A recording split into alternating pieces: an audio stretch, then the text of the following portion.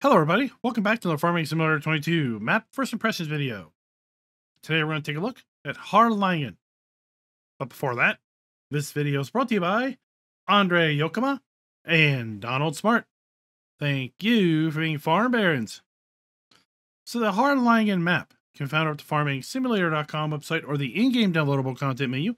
And as of the 1.0 release, this map is available for all platforms.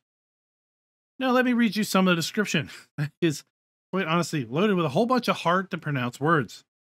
Hardlion, together with Min Minigen, yeah, okay, and Bees, Bees, yeah, okay, form a so-called yeah community, and they are closely linked culturally and socially.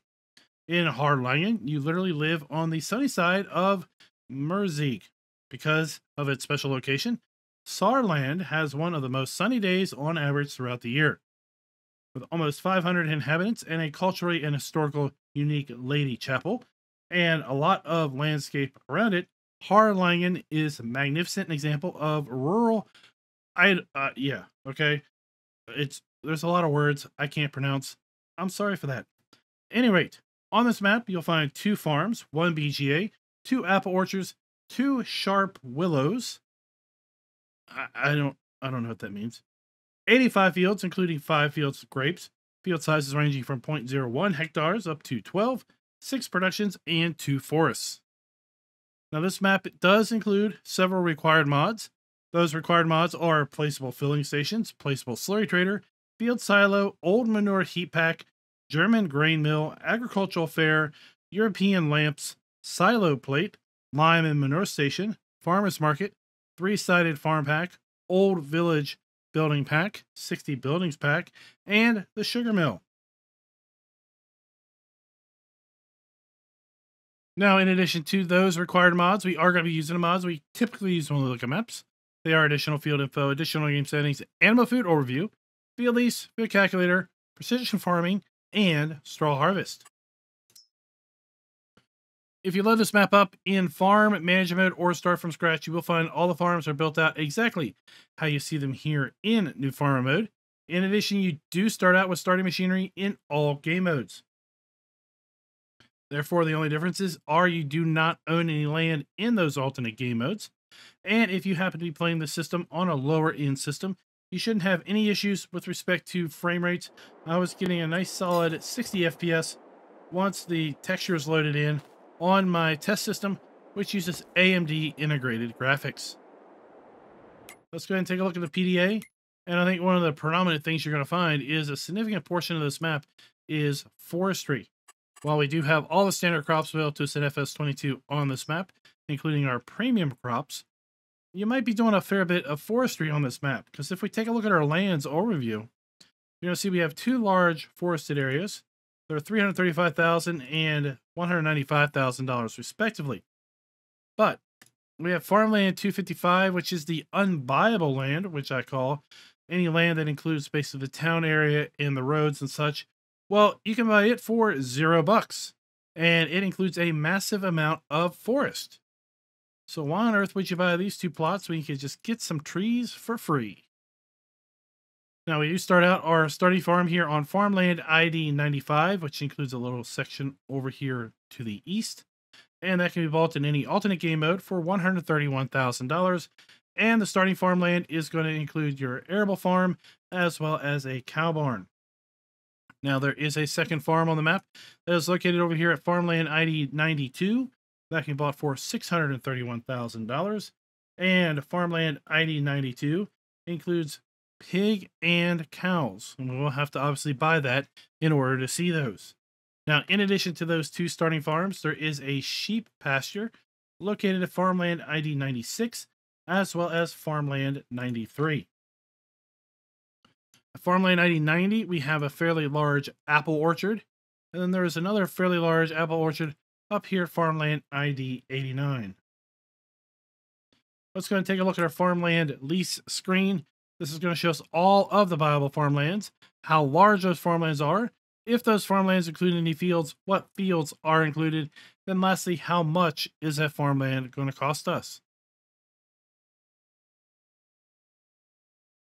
And now we can go and cross-reference that with our field calculator screen, which is going to show us the specific sizes of each particular field.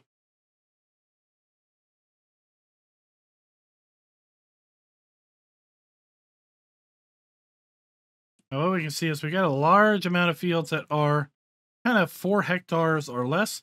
We do have a few here that are larger than that. And then we have a few very large fields, three specifically that are larger than 10 hectares in size. If we take a look at our crop counter, we are looking at the generic crop counter for Farm Sim 22 on this map.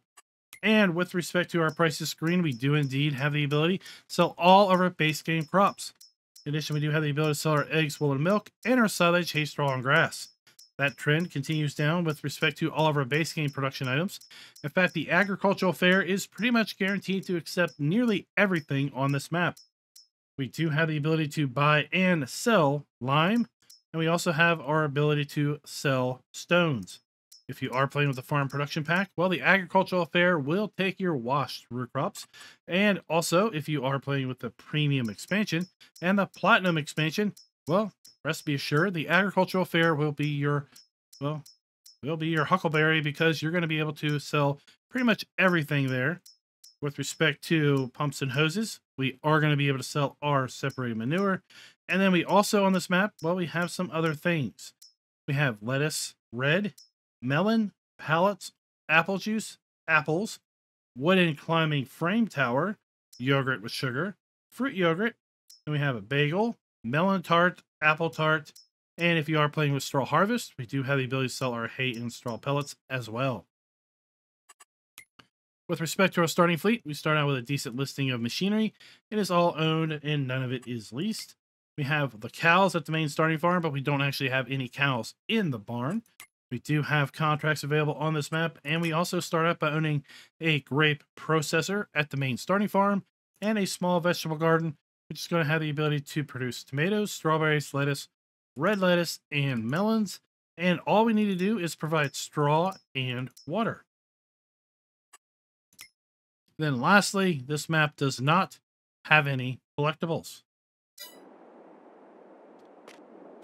Let's go ahead and take a look at our starting fleet. Start with the Valtra A135 High Tech and Landini Rex 4 120 GT small tractors. We have our 1986 pickup truck. We have the Welger DK115 trailer.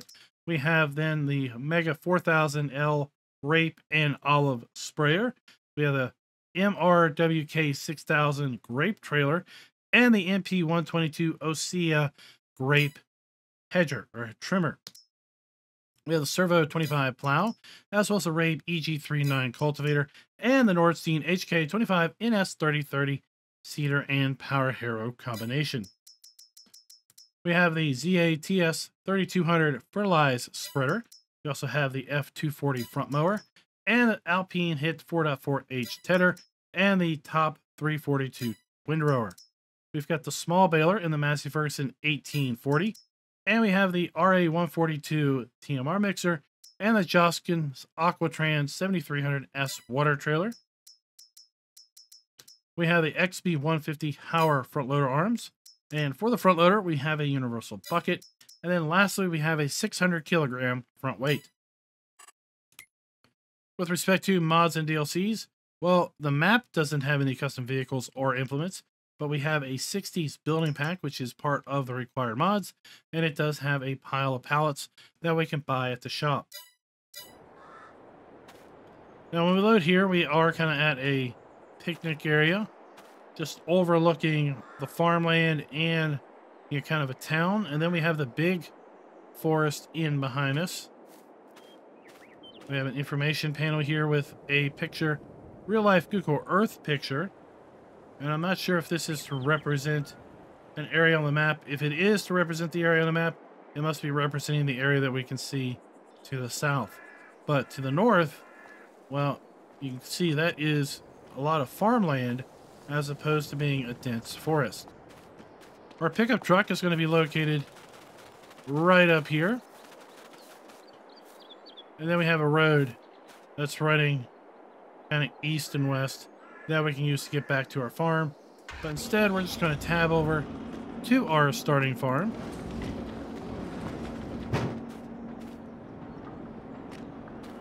We have a wardrobe trigger located right here. Our sleep trigger is going to be located on the side of the house, closest to the street. And then we have our garden. It's going to be for our vegetables. We have house spawn point, and then we have our dump point for our water. Now, as far as this farm being customizable, well, both farms, you can sell all the buildings, but a fair bit of the deco elements are going to remain on all the farms. So I wouldn't recommend necessarily selling anything on these farms. We have our slurry point. We have our animal dealer trigger for 80 cows. We have our milk point, and then we have our manure heap. Inside, we're going to find our straw and food trough.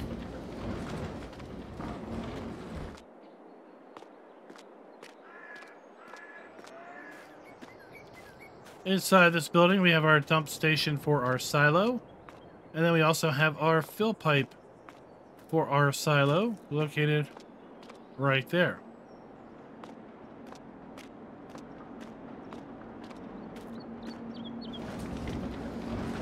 This is where we tabbed. We have our grape trailer. And that's pretty much the main starting farm.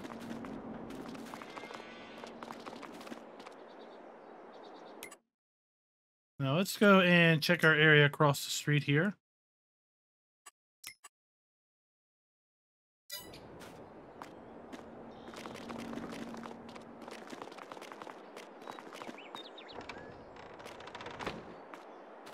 And here we have kind of a building zone. But this also has some silage bunkers. Come on. There we go. So we have a silage bunker located right there. And we have one of those in-ground silage bunkers located right here. Now let's go ahead and take a look at build mode. We do have a fair number of required mods, so we are going to see lots of mods listed here under our sheds, silos, extensions, and such.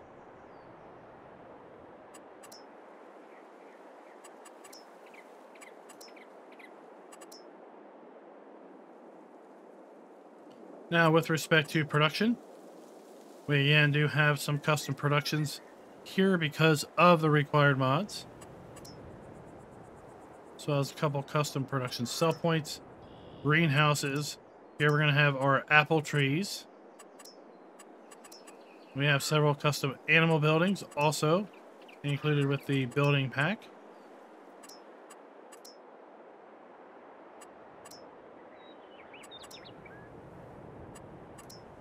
And then as far as ground textures go, we've got a decent listing of ground texture options. And then we have a fairly minimal listing of paintable plants. And our trees are fairly standard.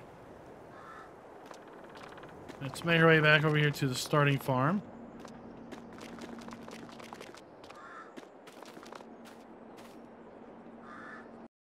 Now, I reminded myself that I did go and show off the precision farming soil map.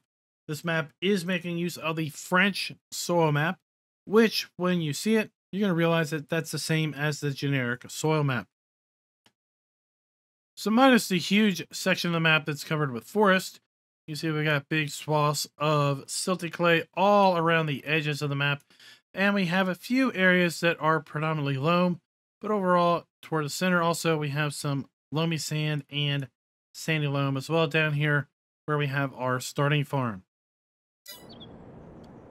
Now I've gone ahead and purchased the various farms and animal pastures. So let's go ahead and check out the secondary farm. So the main farm was right here. And now we have made our way east to this area. And we're going to come into the farm through the main entrance. And then around to the right, we do have our farmhouse, where we have our sleep trigger.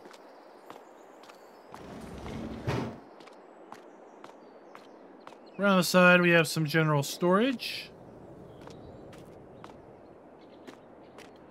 We have our farm silo, so we have our dump and fill trigger. More machine storage and implement storage around the sides.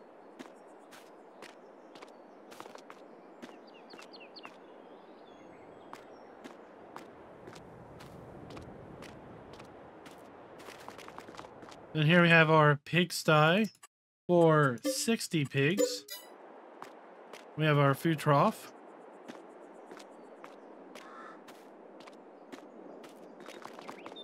Around the back we have our slurry point. We have a cow barn, so we have our manure heap between the pigs and the cows.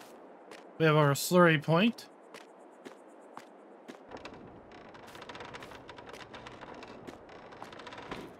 Always we get this door wrong. And we have our food trough in here. We have our milk trigger, and then we have our buy point. For a total of 250 cows.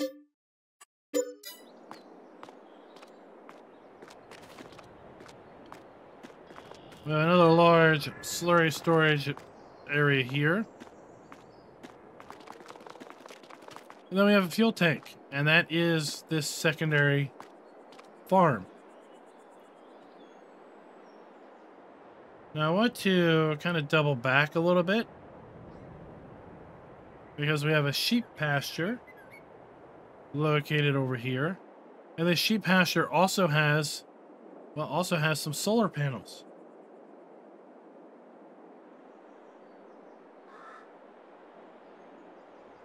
And I found this interesting when I first saw it, and I was reminded by a video that I watched about about um, solar and ag and kind of a partnership where there would be this sheep farmer that would bring his sheep around and let them graze in solar farms.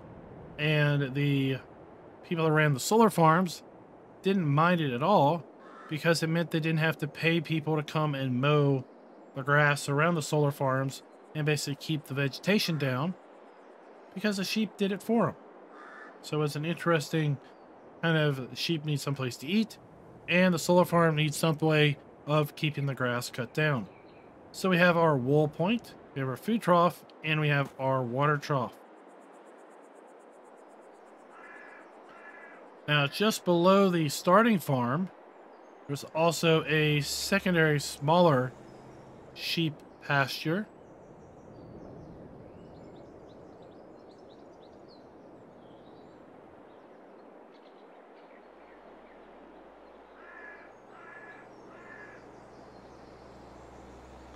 Sorry, I was getting a little turnaround there. And that's going to be right here.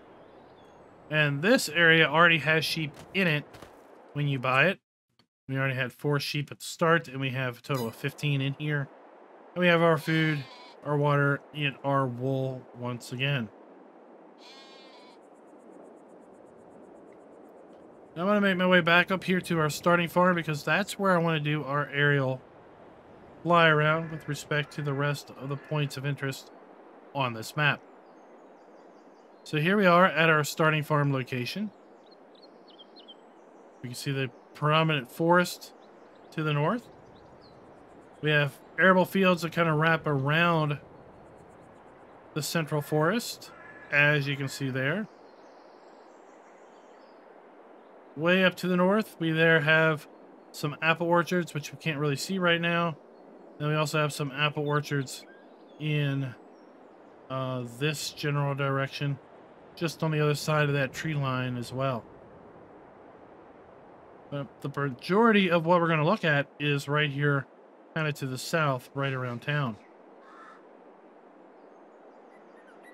So as far as productions on this map, this map includes 31 productions, but that number is a little misleading because there are 21 apple trees. And each apple tree is its own unique production. So we have grape, which is at the main farm. We have 21 apple trees, a BGA, two small vegetable greenhouses, or sorry, vegetable gardens, one at each farm location. We have fruit and oil. We have a dairy, a sugar mill, a country bakery, sawmill, and a grain mill. And this is going to be our sugar mill. So we have our pallet point, our interactive icon, and our sugar beet dump point. We've already seen the small sheep pasture that is located right here. Let's loop up. And we have a little bit of the agricultural fair location right there, I believe. Let's go ahead and check. Yep, agricultural fair. That's literally going to accept everything for sale. On the other side, we have our dairy.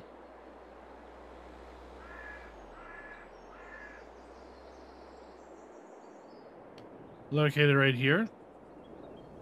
So we have our dump point. Our pallets are going to spawn inside of here. And we have our interactive icon on the inside.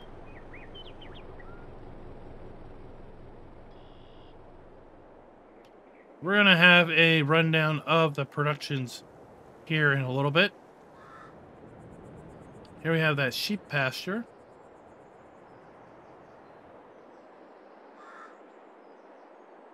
This is going to be our bakery. So we have our pallet point, we have our dump point, and our interactive point around the front. Just on the other side of the bakery.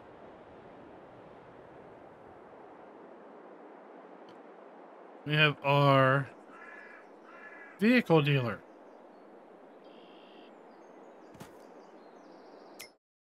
Let's go ahead and pick up our Mahindra so we can see where things spawn. So we got a fairly large area here for our vehicles to spawn at and a pretty easy way of getting out of the shop. Although we do have to be careful about those concrete barriers. And we have our dealer trigger right here. But, I mean, if need be, you can sneak here between these trees, right? Now we have our sawmill. So we have our wood chip point. We have our wood dump point, our wood sell trigger, our pallet spawn point, and our interactive icon around the other side of the sawmill.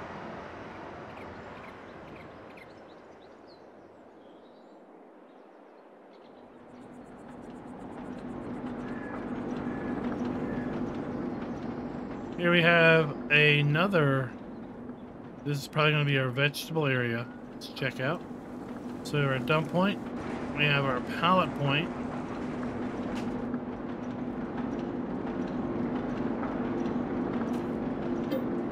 And yeah, this is our fruit and oil press.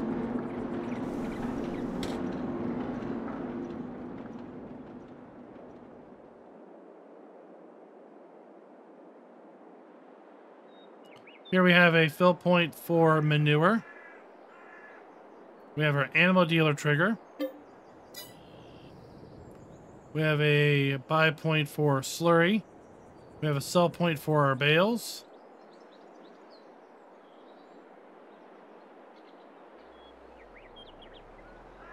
Then over here we have a buy point for lime. We have a buy point for water. And we have a sell point.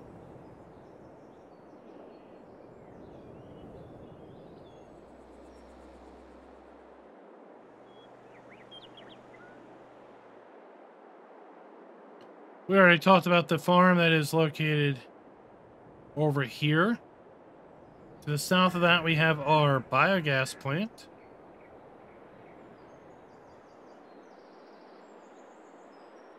And the biogas plant has two three-sided bunkers. And the BGA itself.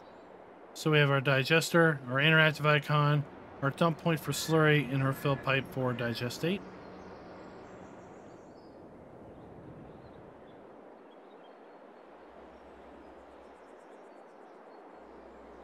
Making our way up the northern road here, Although really it's the road to nowhere because, well, that's the map boundary over there.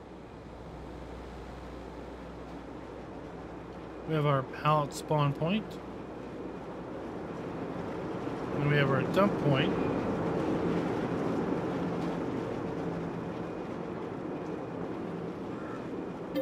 This is going to be our grain mill.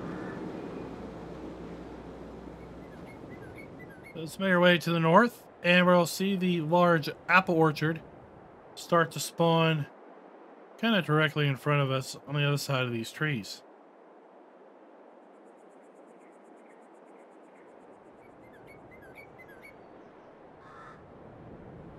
So here we have the large apple orchard. And each row of trees is going to be its own production. So we have a sell point there. Inside of here. Alright, so that's going to be actually... This is a pallet storage. Bale and pallet storage. So we have our apple trees, and the apple trees are simply going to require water, and they're going to output apples. And each row is its own production. All right, so we have our apple spawn point there, our interactive icon, our water point. So it's one production. There's another, third, a fourth, fifth. You kind of get the idea. Six and seven. And then we have eight 9, 10, 11, 12, 13, 14, and 15. So we have 15 apple trees or apple productions in that orchard. And then if we make our way to the north, well, we're going to see that we have several more up there. Now let's talk about our score a little bit. Like I said, we're going to give the map a full point with respect to production being built in or areas set aside for such. In addition, we're going to give the map a full point with respect to the ability to sell all of our base game crops, animal outputs, and productions. With respect to the farms being customizable, well, we're going to give the map a half a point. And the reason we're giving them a half a point is there's a lot of deco objects on both farms that just cannot be sold. And as such, it really makes those areas unbuildable. So here we are at the secondary apple orchard. We've got some general storage. We have a water trigger, and then we have multiple apple productions here. We have three rows wide, and then they're going to be um, two productions deep. So we have six apple orchards over here as well. Then we have our large forested area. And again, a lot of this forested area can be bought for zero dollars. Let's go ahead and take a look at our production and just do kind of a general production rundown. So in addition to the grape processing and the small vegetable garden at the main farm, if you buy the secondary farm, you'll get another small vegetable garden. And then we have all of these apple trees. And again, they're going to take water and make apples. We have our fairly standard biogas plant. We have our fruit and oil press, which is going to accept grapes, apples, sunflowers, canola, and olives. And it's going to output raisins, grape juice, apple juice, sunflower oil, canola oil, and olive oil. We have our dairy, which is also going to be able to make yogurt with sugar by making use of milk and sugar. We have our sugar mill, fairly standard there. Our country bakery is going to make bread, melon tart, cake, and apple tart, as well as bagels. Then we have our sawmill for our wood planks, our wood pallets, and our wooden climbing frame. And then we have our grain mill, which is fairly standard.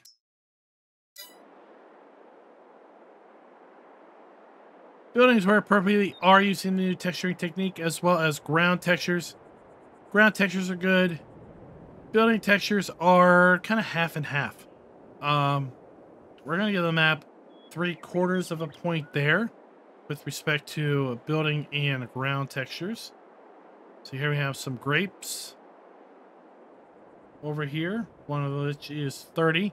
that we do own at the start. I must have missed that one. Must have been a very small area and I didn't see it pop up as being owned. Then lastly, trigger and interactive areas being clearly marked. Oh, I just, I just can't remember if I found anything that wasn't marked. So we're going to go ahead and give the map a one. Why not? So a full point there. So that's going to give this map a score of four and a half out of five. I'd love to know what your all thoughts are with respect to this map. I think it's a really cool map. I like the idea of this big forest in the middle. I'm not so sure I'm keen on the idea of having so much of it free by being tied to uh, the, the roads in the town area. But hey, you know, you do you. That's fine with me. Let me know your thoughts down in the comments below with respect to this map. And until next time, happy farming.